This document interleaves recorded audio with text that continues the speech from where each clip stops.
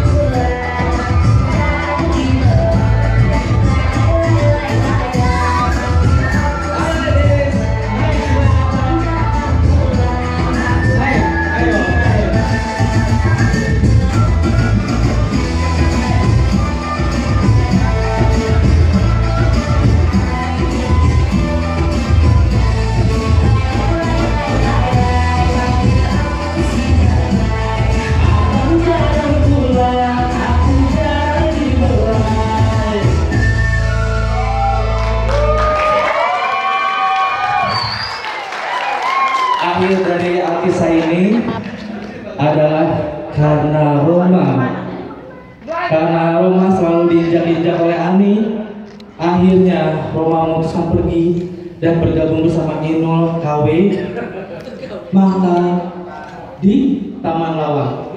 Dan akhirnya mereka menjadi primadona baru di sana. Mereka kembali kaya raya dan akhirnya Ani merasa sendirian ditinggalkan. Selanjutnya, silakan. Ini persembahan dari kami. Cukup sekian. Dan inilah kru-kru dari kami. Senandung Akunting.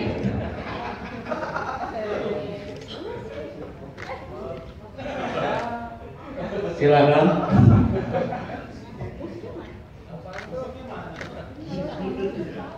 Ini adalah bagian dari senandung akunting. Yang pertama ada saya sendiri Dedi. Kemudian yang kedua kita sambut Mbak Sari maju ke depan.